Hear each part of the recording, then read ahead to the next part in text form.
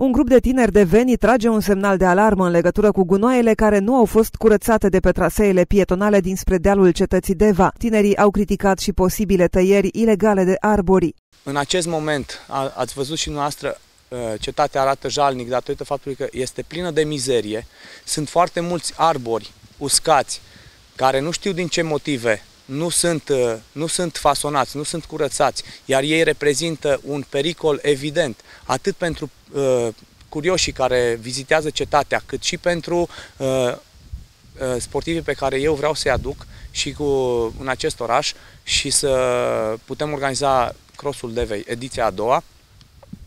În condițiile actuale nu cred că uh, ea, uh, că cetatea poate să Uh, să reprezinte un punct turistic uh, securizat din punct de vedere al, uh, al securității oamenilor care circulă pe cetate. Reclamațiile tinerilor iubitori de natură s-au confirmat. Peturi, piese de aparatură electronică și vestimentară au fost găsite atât în zona trotuarului cât și în zona tunelului. Toate aceste gunoaie au trezit indignarea ecologiștilor care spun că această lipsă de interes din partea autorităților nu face decât să le lase turiștilor o impresie deloc plăcută. Am găsit zone unde este foarte multă mizerie, un lucru care, ca și turist, nu aș vrea să-l văd într-un loc unde merg, se spune că cetatea ar fi un punct turistic pentru Deva. Chiar mi-aș dori ca Deva să aibă un punct turistic cum îl avem ca și cetate, dar nu este astăzi, deci nu putem să spunem că cetatea generează bani pentru oraș